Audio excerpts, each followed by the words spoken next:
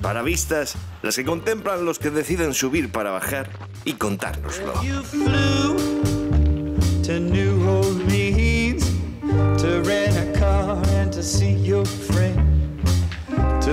Llamo Arturo Rodríguez, llevo como unos 20 años aquí en Cerler y ahora mismo trabajo en el Club Ribagorza Snowboard de entrenador. Estuve dando vueltas por un montón de estaciones del Pirineo eh, buscando un lugar realmente donde hacer snowboard. No pensaba que me iba a quedar a vivir ni que iba a crear una familia ni nada. Cerler para mí lo que tiene de especial es las montañas, que, que es una zona muy alpina, o sea, el Valle de Benasque está rodeado de un montón de 3000 que se pueden ver muchísimos desde la estación y luego la estación en sí me encanta porque tiene zonas con bosque y luego pistas muy inclinadas. Un buen snowboarder, bueno, pues tiene que tener mucha pasión, estar en forma, está claro, y disfrutar con todo tipo de nieves.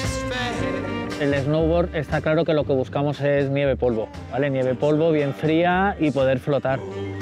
Pero luego cada día es buenísimo en la nieve, cada día es diferente. Y me gusta a mí pararme en cualquier esquina y parece que estás viendo en HD todo el rato.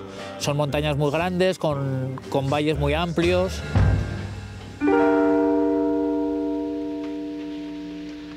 Y hoy la pista que vamos a hacer es la pista de Ampriu.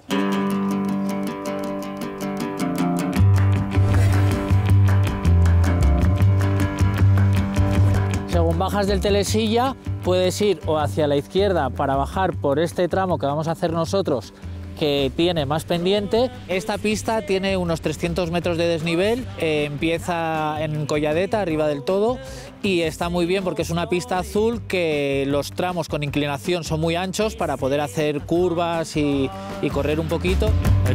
Esta es la zona más inclinada, es perfecta para hacer curvas de lado a lado y es una de las cosas que me gusta mucho de esta estación, la pendiente para poder hacer snowboard, no quedarte tirado en ningún plano. Y luego tiene pues tramos más llanitos donde también se puede jugar un montón. Podemos hacer grandes diagonales de lado a lado, hay pequeños cambios de rasante. A nada que nieve un poco, tiene unas formas en las esquinas de la pista para poder saltar y, y hacer un snowboard divertido. Además de las curvas, con mucho cuidado, podemos ir aprovechando también si nos deja alguna forma de los cañones para pegar algún saltito.